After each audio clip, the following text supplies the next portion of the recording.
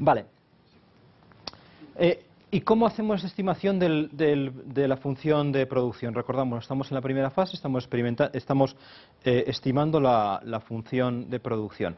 Lo hacemos con datos de PISA, ya es sabido, y lo hacemos con un método jerárquico, eh, con dos niveles, un, HLM, eh, que permite bueno, HLM es el programa, pero también hay programas HLM en, Stata y en, y, en, SPSS, por tanto no está bastante generalizado, que permite eh, utilizar dos niveles simultáneamente, el nivel del individuo, el nivel del alumno y el nivel del centro, y permitir que las pendientes de los coeficientes, es decir, que los coeficientes varíen entre diferentes centros.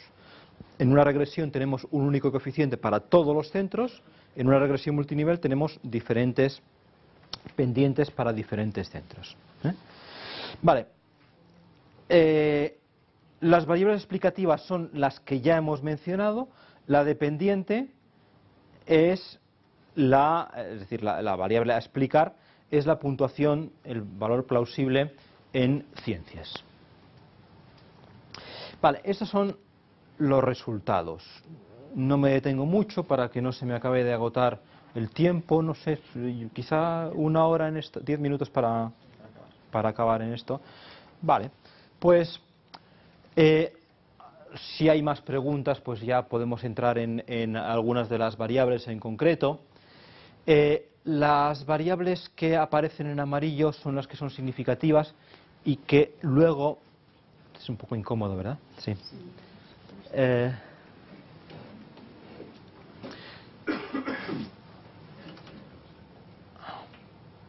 sí, eh, son significativas y que por tanto utilizaremos luego en análisis de eficiencia. Por ejemplo, en el nivel individual, que es el que tenéis aquí, la edad de los chicos, aquí hay diferencias únicamente de trimestres, porque todos son están en torno a los 15 años. El ser chica, en el caso de ciencias, coeficiente negativo, ¿eh? ciencias y matemáticas ya he sabido, las chicas, a igualdad de todo lo demás, puntúan un poco, un poco peor, en lectura puntúan un poco mejor. Eh, repetición, este efecto negativo. Eh, algo que también es conocido, el origen inmigrante, si es de primera eh, generación, tiene un efecto significativo negativo, quiere decir que se trata de hijos de padres inmigrantes que han nacido fuera y que por tanto potencialmente parte de su recorrido educativo lo han hecho fuera. En esta situación, primera generación, efecto negativo, pero inmigrantes de segunda generación, y esto es algo también sabido, no hay un efecto negativo ni tampoco positivo. Quiere decir que si eh, naces de padres eh, de origen inmigrante, pero mm, inicias ya el recorrido educativo aquí, no hay diferencia a igualdad de todo lo demás, a igualdad del nivel educativo de los padres, etcétera, no hay diferencia con respecto a los alumnos nacionales. Eh, esta batería relativa al, origen socioprofesional y cultural, los años de educación de la madre, más años de educación, mejor rendimiento, 0,8 puntos por cada año adicional, todo significativo, fijaos en las tres estrellitas, y eh, mm, estas variables de eh, cuello blanco, cuello azul, el origen, la categoría socioprofesional, pues que, eh, como ya he sabido, eh, pues favorece a los estudiantes con padres de, pues, de trabajadores que hacen trabajos no manuales, cuello, cuello blanco, sobre todo cuello blanco cualificado.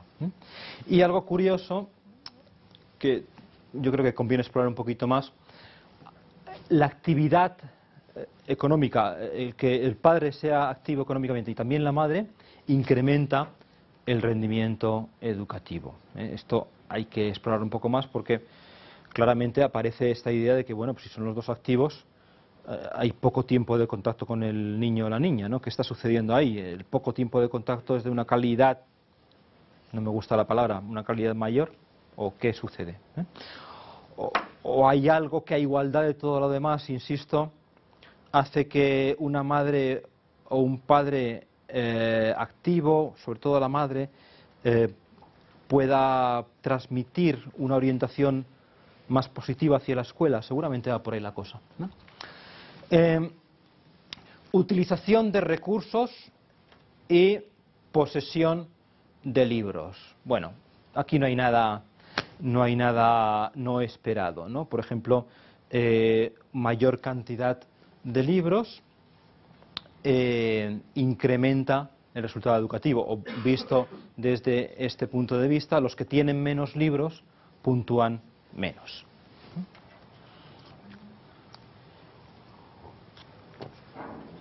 Variables del tipo de centro.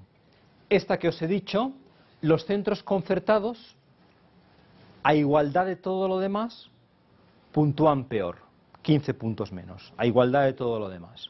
Quiere decir que si cogiéramos a los alumnos y los arrojáramos aleatoriamente entre los centros, como si fuera un puñado de sal, pues en los centros públicos la puntuación sería mejor que en los privados concertados. Obviamente esto es eh, contraintuitivo, pero por eso estamos trabajando sobre ello y luego análisis de eficiencia nos lo vuelve a confirmar. Más cosas interesantes, aparte del tamaño de la ciudad, estas variables de efectos compañero, la proporción de alumnos eh, inmigrantes, cuando hay una gran densidad de alumnos inmigrantes, baja los resultados. Cuando sube la edad media de la educación de, las madres, sube el nivel educativo. Cuando hay más proporción de chicas en la escuela, sube también, efectos compañeros, que en este caso son efectos compañera. El tamaño de la clase, esto lo pondría yo en la nevera porque ya digo que no, PISA no es lo mejor que se puede utilizar para evaluar el efecto del tamaño de la clase. ¿eh? Eh, en todo caso, parece que clases, tamaños de clase mayores reducen ligeramente el rendimiento y la ratio de alumnos, eh, de ordenadores por, por alumno. Bueno, nada, nada, nada fuera de lo de lo ya conocido por algunos estudios previos eh, de, PISA desde el año 2006-2007. Bien, pasamos ahora a la segunda fase del estudio. Tenemos ya una función de producción que, son, que está compuesta por las variables que son significativas en el análisis de determinantes que he expuesto hasta ahora. Esos son nuestros inputs ¿eh? y vemos a ver qué output se consigue a igualdad de input para evaluar la eficiencia. Utilizamos el DEA, como ya he dicho, Data Development Analysis, y un modelo en concreto que es el de Portela y Zanasulis, que es el que nos permite utilizar dos fronteras de producción, una para los centros concertados y otra para los centros públicos. ¿De acuerdo? Y como tenemos dos fronteras de producción, establecemos diferencias entre eficiencia de gestión y eficiencia de programa. Vale, este gráfico ya os debe sonar. ¿eh? Eh, dos fronteras de producción, una para los centros públicos y otra para los centros concertados. Esto que voy a explicar es un poquito lioso, eh, bueno, pues sobre todo porque mm, arbitrariamente se ha decidido eh, describirlo así en el modelo que os comento, pero vamos a distinguir, a intentar distinguir entre esta eficiencia de gestión y eficiencia de programa en este dibujo. Más bien deberíamos hablar de ineficiencia, pero porque las ratios están al revés arbitrariamente, pero bueno, hemos preferido dejarlo así de momento. Vamos a ver. Vamos a ver si este centro A, que está aquí, que con este input, esta combinación de las variables anteriores, con estos años de estudios de la madre, etc., este centro A que con estos inputs consigue este output, este rendimiento Z', vamos a ver si es eficiente o es ineficiente y cuán ineficiente es. Ya sabemos que es ineficiente. ¿Por qué? Porque no está en la frontera. Porque hay un centro D que con la misma combinación de inputs consigue más output. Por tanto, no está en la frontera, sabemos que es ineficiente. ¿Cuán ineficiente es? Vamos a ver. Primero, ¿cuán ineficiente en términos de gestión es? Hay un centro D que lo hace mejor, por tanto, combinamos lo que hace el centro D, el centro D consigue producir un output entre Z y Z segunda, que es el máximo, ¿de acuerdo? Entre Z y Z segunda, mientras que el centro A solo consigue el output entre Z y Z'.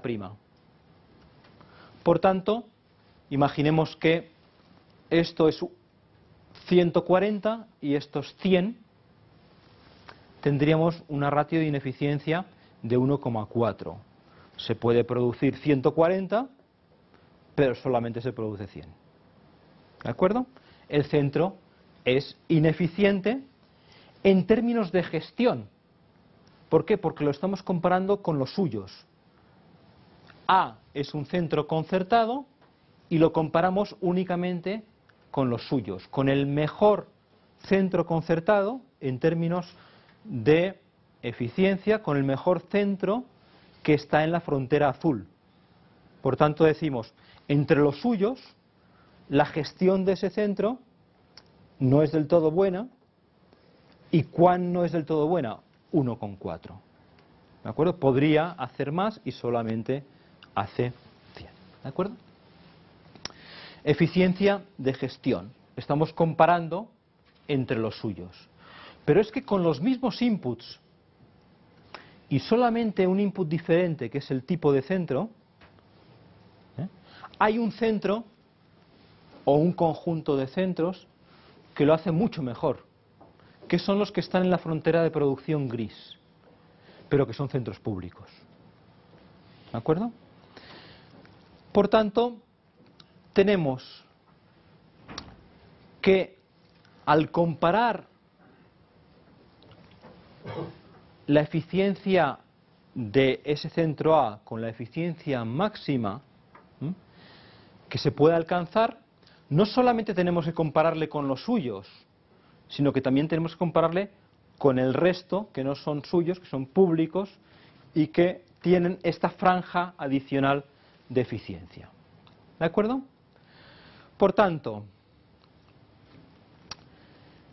lo que hacemos al medir la eficiencia de programa, lo que depende exclusivamente del tipo de centro que es, es comparar el output máximo alcanzado, que es z, z tercera, todo esto, todo esto, el output potencial máximo para cualquier tipo de centro, con lo que alcanza el centro concertado más eficiente, que es esto. ¿De acuerdo? Entonces estamos diciendo, por eficiencia de gestión, este centro está perdiendo esto sobre esto. Y por eficiencia de programa, no porque individualmente sea malo, sino porque su conjunto lo hace peor, está perdiendo esto sobre esto. ¿Mm? ¿De acuerdo?